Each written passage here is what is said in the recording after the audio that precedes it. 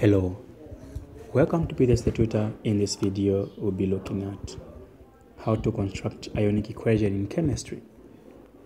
So I have an example that says sodium hydroxide react with sulfuric acid forming sodium sulfate and water.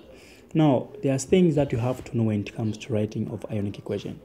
When writing ionic equations, we only consider substances which are in aqueous solution, all right? Only in aqueous solution. Only in aqueous solution. Huh. So all those in aqueous solutions are the one that you need to consider. Anything in solid, anything in liquid, anything in gas, you don't have to consider that. And in this case, we have sodium as aqueous, we have sulfuric acid as aqueous, you have sodium sulfate as aqueous, but you have water as liquid. So the first thing is that you need to branch each compound into its specific ions. For example, these two, we have two sodium hydroxide. What this means is that these two, it means you have two sodiums, you have two oxygen, you have two hydrogens. That's what these two in front mean. It's multiplying all the elements there. So, what that means that we, so we have two ions. We have the sodium ion, okay, like that. So you say aqueous, okay. Then you also have the hydroxide ion here, which is like this, something like that. So let me just say plus here. We have a twin plant So we are done branching sodium hydroxide. Now we have to branch, this is also aqueous. Now we also have to branch sulfuric acid. Now because there's a plus here, let me put a bigger plus to differentiate it from this other. So this means we have a sulfate is an ion and the sulfate ion is written like this. Okay, so this two comes down here, this two comes down, which is, is the one which is here. Now these two again here, this means you have two hydrogen. So that means you have two hydrogen ions like that in aqueous solution. Plus you have a sulfate ion, which is sulfate is like this. Then two minus aqueous. Alright, so these two here means you have two hydrogen. That's why I wrote here. But this same is also part of the sulfate, which is here. So I have branched it.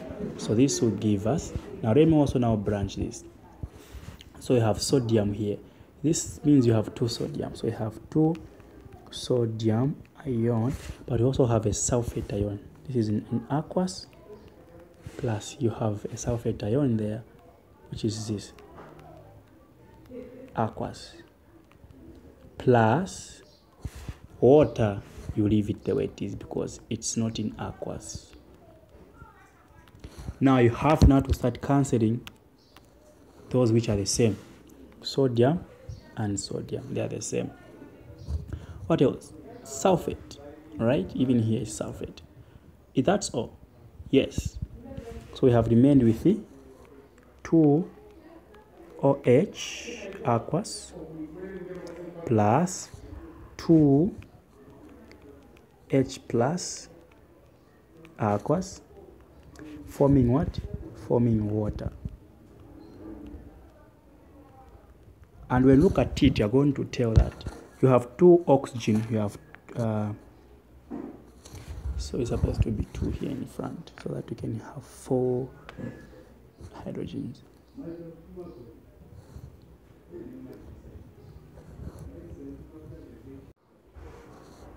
So it's supposed to be a two here. So even here that means there's a 2. But when you check, you have two oxygen atoms, also have two oxygen atoms. Yeah. Then you have two hydrogen plus 2, which is 4, and also here also have 4. This is an ionic equation. Let's look at another one.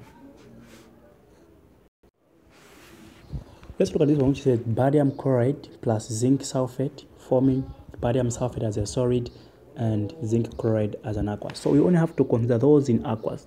So this is not part of it. So we are going to branch this. This now these two, these two means you have two chlorine. It also means you have two barium. no not two barium but it means it's an it's a it's a it's a valence for barium. So we have this. Okay. Barium 2 aqueous plus then chlorine we have 2 like this now. Okay that's what it means. So aqueous.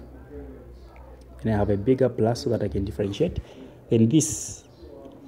Now they, they are like this. Now you know that a sulfate ion has got a valence of negative 2 a valence of 2 so zinc must, must, also have, must, must also have a valence of 2 for them to cancel.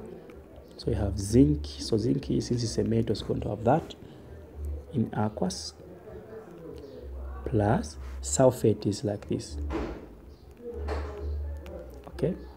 Now we can agree that the, uh, that's how this was formed because these two are going to cancel and they're just going to remain the zinc and the sulfate itself like that. Then this is forming. Now this is a solid so we are going to leave it the way it is. And we are not going to temper it. Then this is a solid then plus zinc chloride. This two means zinc has a valence of 2 it also means there are two chlorine atoms. So this means there's a 2 there for zinc it also means there is 2 for chlorine atoms now we can cancel. We can cancel now. Uh, we can check which one they are the same. This side before the arrow and this side after the arrow.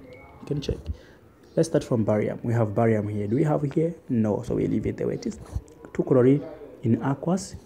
2 chlorine in aqueous. Okay so we can cancel this. We can also cancel this then we do we have zinc in aqueous? Here yes. What on this side? We also have we have sulfate here in aqueous. Do we have sulfate here in aqueous? No. So whatever is remained are the ones that we are going to get. Now these elements or compounds that we are cancelling out these are what we call spectator. Spectator ions. Why are they known as spectator? They play no role they play no role in the reaction.